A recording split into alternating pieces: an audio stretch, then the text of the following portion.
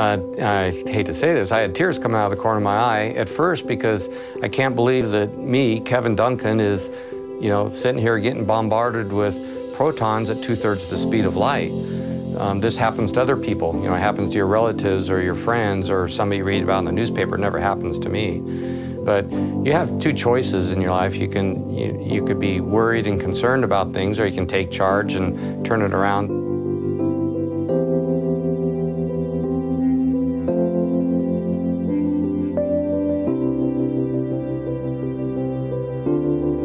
Was time for my full body physical, and they discovered that my PSA numbers were very high. So they sent me into a specialist within the hospital where they did a biopsy and determined that I had prostate cancer.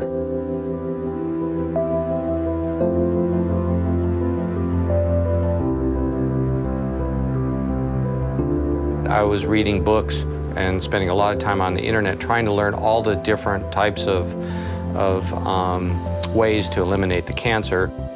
When it came down to it, there really was one, only one answer.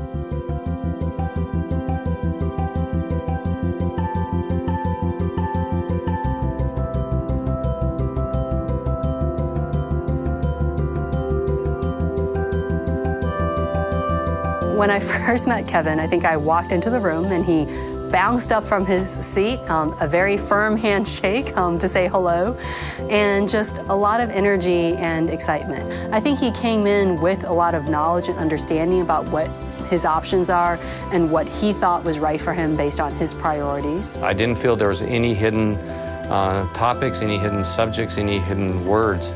I think of proton radiation as just yet another tool um, in the tool belt. The fact that it goes into the body and doesn't come out the other side, it brings us closer to killing the tumor without harming the patient.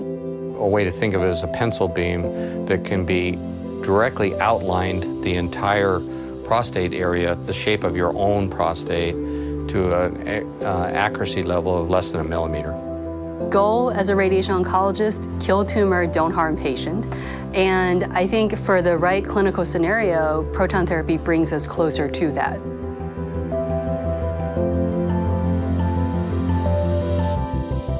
She laughed at my jokes.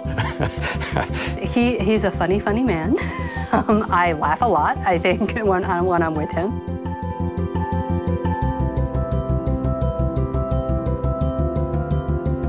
I have 100% of my energy back. Um, it's like it was a, uh, a, distant memory now. When I saw him today, he said that he was ecstatic that he was able to work nonstop this weekend. That's kind of his definition of being recovered. I think he's definitely someone that I would hope, you know, this treatment was a speed bump for him and that he will go back to running on full force um, at 110%, which I think is normal for him.